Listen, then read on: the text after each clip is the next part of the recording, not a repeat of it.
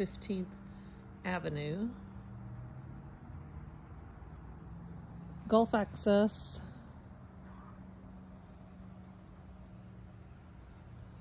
Those people sold that lot. Looks like they're gonna build something. It's a lot of fill dirt.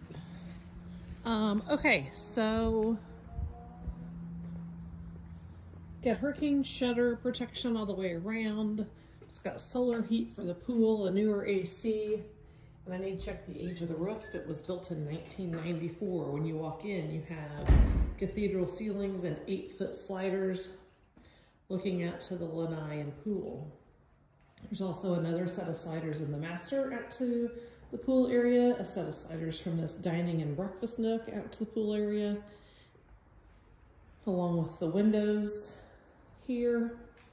A few things are showing the age of 1994, including the laminate kitchen, um, Formica counters. We got the soffit with the fluorescent lighting here, um, but that's all really cosmetic.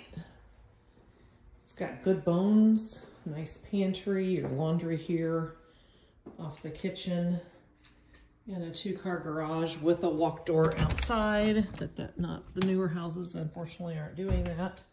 Got some shelving and cabinets.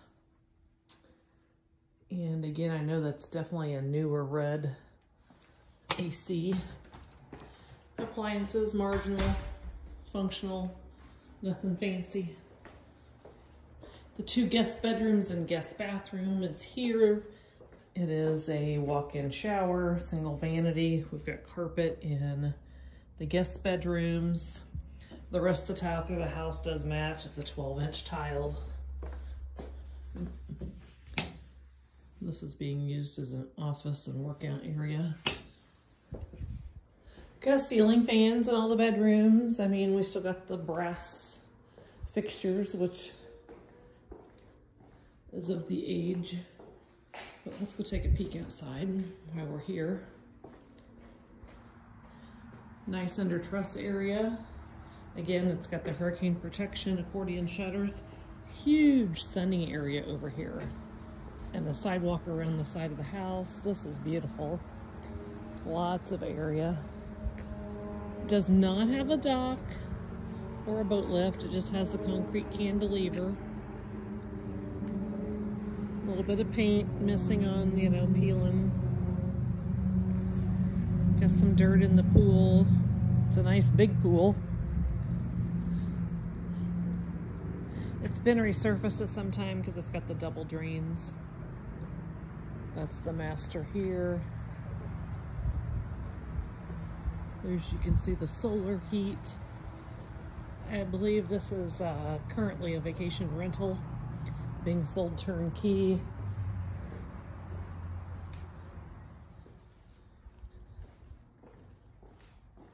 Peek into the master real quick. It is a nice big master suite, king bed, a couple of nightstands, a chair, table, plenty of space for an ensuite and double his and her closets. Then don't have a pocket door.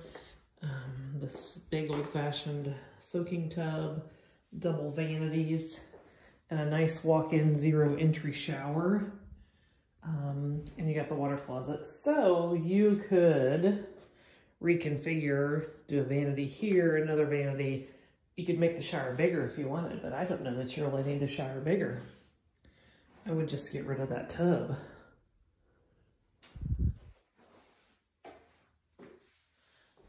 But some people like a soaking tub. So, first day on the market. Double front doors, you've put glass there, you'd get some nice light in here.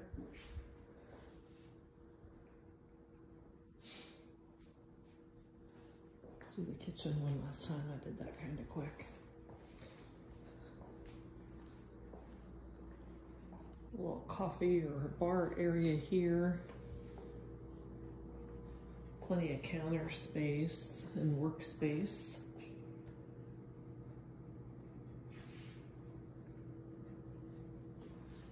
And lots of nice natural light in the view outside.